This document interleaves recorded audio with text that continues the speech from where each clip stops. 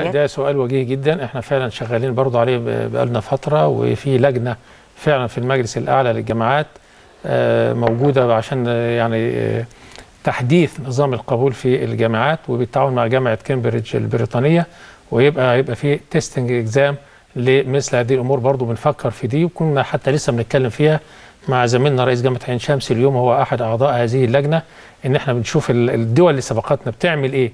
يعني في مخاطره إن أنا أعتمد على الثانويه العامة لوحدها لابد يبقى في عناصر أخرى من بين العناصر اللي إحنا بنفكر فيها إن يبقى في امتحان ل- للتأهيل لدخول الجامعات ويبقى في مواد مؤهلة وإحنا بندرس دي وبنفكر إن شاء الله وربما إن ان انتهينا منها في وقت مناسب بنطرحها للعام القادم إن شاء الله. يعني العام القادم العام الدراسي مش اللي هيبدأ بعد شهر ده العام القادم ال- قد يكون في اختبارات للقبول بإذن الله. في الكليات المختلفة. ومواد مؤهلة ل- عشان ما يبقاش نعتمد لأن ممكن نلاقي طالب كويس قوي وجاء قبل الامتحان تعب ما. قدرش يجيب مجموع.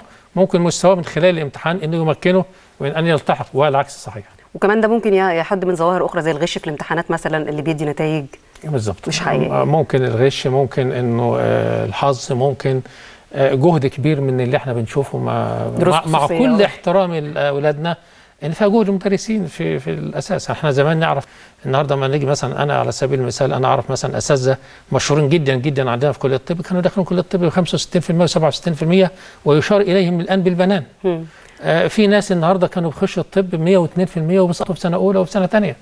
فالقضية قضية إحنا فعلا آه، محتاجين يبقى في آه، مواد أخرى آه، يعني عشان تؤهل الطالب إنه يخش الجامعة وإن شاء الله ده بيكون ويمكن إحنا آه، الشهر الجاي في يمكن في زيارة لجامعة كامبريدج لتوقيع هذا الاتفاق وإن شاء الله بس حينما يعني تنتهي المسائل كلها سنعلن عنه وسنعلن عنه في وقت يناسب ووقت مبكر عشان كل طالب داخل بعد كده يعرف يقدروا إيه. يستعدوا ليه يعني ده هيطبق على الطالب ممكن يطبق على الطالب السنة دي في ثانية ثانوي يطبق على الطالب عشان قبلها على الأقل بسنة عشان يبقى عارف هو يعمل إيه في الفترة اللي آه،. ده هيتم تضمينه في القانون يا فندم آه، ممكن أو ممكن لكن ممكن غير أه. مؤكد القانون زي آه، ما حضرتك يعني- ذكرت وأنا ب يعني, يعني, آه إلى أن ننتهي بس عشان إحنا برضو نحب إن إحنا ما يبقاش في مفاجأة للناس إحنا عايزين حينما نضمن القانون شيء وبعدين مش القانون القانون ممكن يقول لك تطوير أنا يعني عايز دايما ممكن أنا الخلفية القانونية هنا بتفيد إن القانون أنا أحب نصوص عامة موجزة لكن قد يكون في اللائحه التنفيذيه واللائحه التنفيذيه دي بيسهل تعديلها؟